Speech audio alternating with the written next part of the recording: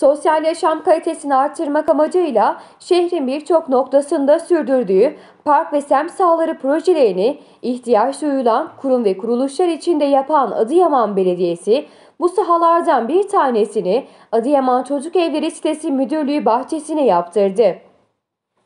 Adıyaman Aile ve Sosyal Politikalar İl Müdürlüğü bünyesinde Vartana mevkiinde hizmet veren Adıyaman Çocuk Evleri sitesi müdürlüğünü ziyaret eden Adıyaman Belediye Başkanı Doktor Süleyman Kılınç, hem müdürlük yetkilileriyle hem de çocuklarla sohbet edip Adıyaman Belediyesi'nin kendileri için yaptırdığı sahada incelemelerde bulundu.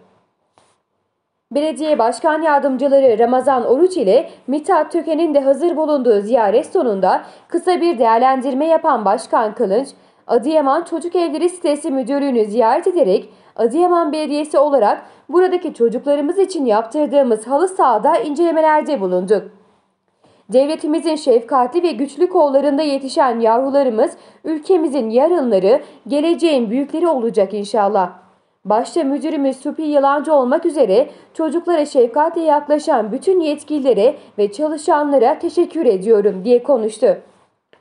Müdür Yılancı ise ziyaretten duydukları memnuniyeti dile getirerek yapımı tamamlanmak üzere olan halı sahadan dolayı Başkan Kalınca ve diğer emeği geçenlere teşekkür etti.